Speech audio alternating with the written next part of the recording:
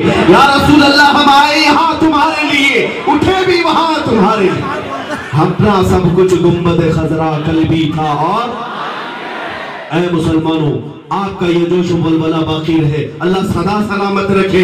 मुझे यकीन है, ये चिंगारी जो रोशन हो सकती थी, मुझे यकीन था, किसी और के नाम पे नहीं, वो नाम मोहम्मद पे उछाल। सिर्फ़ और सिर्फ़ ये चिंगारी शोला बनती है तो नाम मोहम्मद पर है। जालिमो, आओ, आज हमारे मजमे को देख लो। तुम्हें पता नहीं, उस नामे पाक में असर कितना है। मैं अगर मुर्दों के पास भी तिलावत करूँ, उनके जिस्मों में भी हरकत पैदा हो जाए।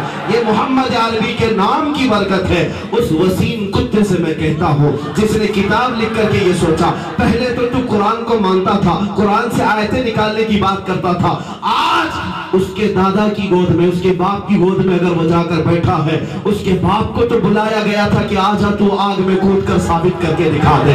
तेरा ईमान सच्चा है, या एक गुलाम रसूल का ईमान सच्चा है? लेकिन छह महीने गुजरने के बाद, अब मेरा विजदान और यकीन इतना बढ़ गया, इस वसीम कुत्ते को सिर्फ़ इतना ही चैलेंज करना बाकी है। ये उलमा एक तरफ़, ये मशाइख एक तरफ़, ये फकीर एक तरफ़, जिस दिन तू आए, मैं अपने किसी माँ की गोद में पीता बच्चा तेरे सामने रखो। और अगर तू सच्चा है, तेरे दीन सच्चा है तो इस बच्चे का मुकाबला करके दिखा दे। इसलिए कि इसलिए कि इन बच्चों को हमारी माए सिर्फ़ दूध नहीं पिलाती, ईमान साथ में पिलाती है। इसके मुस्तफ़ा साथ में पिलाती है। इनके अंदर आज दुनिया अगर डराती है तो जवानों डरने की ज़रूरत नहीं। इसलिए कि ज़्यादा से ज़्यादा तुम्हें डराया जाएगा मौत से, और मोमिन तो मरने के लिए जीता ही कहाँ है? ये जीने की जीने का शौक रखता ही कहा है? उसे डराओ जिसे जीने का शौक हो। हम तो हर रात इंतज़ार में है कि मलकुल मौत कब आए? हमारे मुस्तफ़ा से हमारी मुलाकात कराए। हमारे नबी पाक से हमारी मुलाकात कराए। है शबे गौर भी उसी गुल से मुलाकात की रात कब्र में पहुँचते हैं तो इसी नीयत से पहुँचते हैं। उन्हें देखना नसीब होगा। दुनिया की सारी थकन दूर हो जाएगी। सारा ताप खत्म हो जाएगा।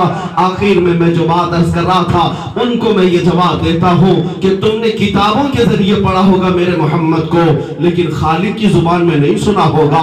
उनका खालिद जो रसूल पाक को जिस अंदाज से बनाया है, तुमने अगर नबी पाक को कहा है, वह ऐसे थे वैसे थे। तो सुनो रबाल ने, पूरे कलाम मुकदस में इस मुस्तफ़ा को क्या क्या कहकर पुकारा है? कहा है, ए मोहम्मद, तुम अहमद भी हो, हामिद भी हो, महमूद भी हो, हम्माद भी हो। ए मोहम्मद। तुम सिराज भी हो, रशीद भी हो, बशीर भी हो, नजीर भी हो, ताहा भी हो, यासीन भी हो, मुजम्मिल भी हो, मुदस्सिर भी हो। ए मोहम्मद अरबी, तुम ही मुस्तफ़ा हो, तुम ही मुजतबा हो, मुर्तदा हो, मुर्तजा हो, मुख्तार हो मोमिन हो, कायम हो, नासिर हो, मंसूर हो, शहीद हो, आदिल हो, तुम ही हकीम हो, तुम ही नूर हो, हुज्जत हो, बुरहान हो अब दही हो, मदनी भी तुम हो, मक्की भी तुम हो अब दही भी तुम हो मदनी भी हो, हिजाजी भी हो तराजी भी हो हाशमी भी हो करशी भी हो उम्मी भी हो यतीम भी हो जवाद भी हो मुनकी भी हो तवाब भी हो रऊफ भी हो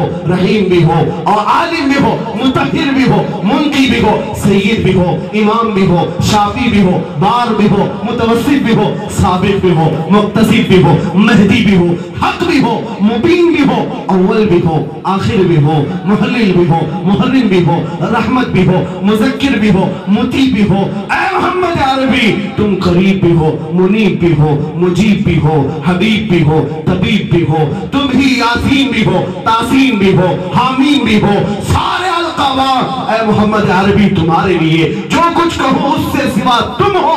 दुनिया जो कहती है, वो कहने दो। मगर हमारा इमाम हमें ये सिखा कर गया, सारे ऊंचों से ऊँचा, समझिए जिसे, है उस ऊँचे से ऊँचा हमारा। सारे अच्छों से अच्छा। समझिए जिसे है उस अच्छे से अच्छा। तुम्हें खबर क्या है? उस नबी पाक का आलम क्या, मकाम क्या, जिनके तलवों की धोवन है आबे है? है वो जाने मसीहा हमारा नबी। उनके कौनैन में अंबिया ताजदार ताजदारों का आका। हाँ सब चमक वाले उजलों में चमका की अंधे शीशों में चमका। हाँ बुझ गई जिसके आगे सभी मशाले शम्मा वो लेकर आया। आखिर में इतना कहूँगा गम जदों को मुजदा दीजिए कि है रजा बेकसों का सहारा। बस इस बात पर मैं अपनी तकरीर को खत्म करता हूँ। ऐ मुसलमानों, मेरे नबी पाक का खुलासा यही है। तुम फख्र के साथ आज से फिर ये ऐलान करोगे। लब्बे नाते पाक का नगमा कल भी था और आज भी है। मेरे नबी से मेरा रिश्ता बतला दो गुस्ताख नबी को। गैरत सुन्नी ज़िंदा है।